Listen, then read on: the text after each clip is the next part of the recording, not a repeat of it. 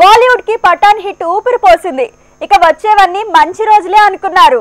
కానీ తెలుగు తమిళ సినిమాలు బాలీవుడ్కి చుక్కలు చూపించేలా ఉన్నాయి. అజయ్ దేవగన్ బోలా నుంచి రణబీర్ కపూర్ యానిమల్ వరకు ప్రతి సినిమాకు టాలీవుడ్ కోలీవుడ్ నుంచి గట్టి పోటీ ఎదురయ్యేలా ఉంది. బీటౌన్కి దిమ్మ తిరుగుతోంది. అజయ్ దేవ్గన్ టబు కాంబినేషన్లో తెరకెక్కిన భోలా మూవీ ఈ నెల ముప్పైన రాబోతోంది. ఖైదీ హిందీ టీమేగా తెరకెక్కిన ఈ సినిమా సౌత్ నార్త్ అంతటా సందడి చేయబోతోంది. కానీ అదే రోజు తెలుగు సినిమా దసరా రాబోతోంది. పాన్ ఇండియా లెవెల్లో పోటీ ఇవ్వబోతోంది. పఠాన్ హిట్ అయిందని ఆ ఊపులో దూసుకుపోవాలనుకున్న మిగతా హీరోలకి చుక్కలు కనిపించేలా ఉన్నాయి.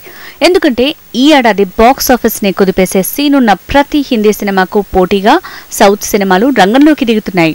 సల్మాన్ మూవీ కిసీ కా భాయ్ కిసీ కా జాన్ ఏప్రిల్ ఇరవై ఒకటిన రాబోతోంది. కానీ అదే నెలలో తమిళ్ మూవీ పొన్నియన్ సెల్వం రాబోతోంది. Ponniyin Selvan sequel PS two April twenty ఎయిత్న release కాబోతోంది. అంటే సల్మాన్ సినిమా వచ్చిన వారంలోగా సీన్లోకి మణిరత్నం మూవీ వస్తున్నట్టే. ఇక పఠాన్తో దుమ్ము దులిపిన షారూఖ్ నెక్స్ట్ మూవీకి ఈసారి ఏది అంత ఈజీ కాదని తెలుస్తోంది. ఎందుకంటే తన నెక్స్ట్ మూవీ జవాన్ జూన్ రెండున వస్తుంటే కరెక్ట్గా రెండు వారాల గ్యాప్తో పోటీకి ప్రభాస్ సీన్లోకి రాబోతున్నాడు. జవాన్కి ప్రభాస్ మూవీ ఆదిపురుష్కి మధ్య రెండు వారాల గ్యాప్ ఉంటుందట. కానీ రెండు పాన్ ఇండియా మూవీస్ మధ్య రెండు వారాల గ్యాప్ అంటే అది వసూళ్ళ మీద ప్రభావం చూపించవచ్చు ఇక అజయ్ దేవ్గన్కి ఈ ఏడాది కాదు వచ్చే ఏడాది కూడా పోటీ పోటెత్తేలా ఉంది. సింగం కొత్త సీక్వెల్తో తను వచ్చే ఏడాది దీపావళిని టార్గెట్ చేసుకున్నాడు. కానీ అప్పుడు పోటీకి మూడు సినిమాలు సీన్లోకి వచ్చేలా ఉన్నాయి.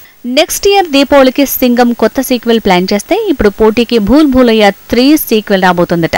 అప్పుడే ప్రభాస్తో మారుతి తీస్తున్న మూవీ రాబోతుందట. ఇలా ఎలా చూసినా బాలీవుడ్ సినిమాలకు మరో రెండేళ్ళ వరకు సౌత్ నుంచి కూడా పోటీ పోటెత్తేలా ఉంది.